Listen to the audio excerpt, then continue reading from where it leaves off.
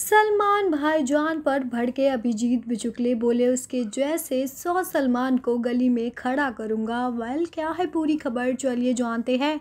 Big boss season 15 finale से कुछ ही दिन दूर है और इससे पहले घर में डबल एविक्शन हो गया है, जिसके बाद घर से देबुलीना भट्टाचार्य और अभिजीत बिचुकले बाहर हो गए हैं। अभिजीत अपने होम टाउन महाराष्ट्र के सातारा लौट चुके हैं। उन्होंने कहा कि सलमान खान काफ़ी डोमिनेटिंग है।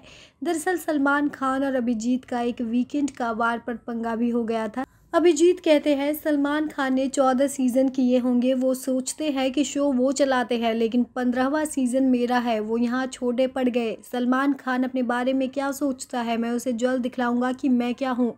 पिंजरे में एक बाघ था, इसीलिए तो वो हंटर देकर घुमा रहा था। अब बाघ पिंजरे से बाहर आ गया है। बिचुकले आगे कहते हैं कि सलमान अभी भी अंडे में है, जो बाहर आना चाहता है, अब आएगा तब पता चलेगा।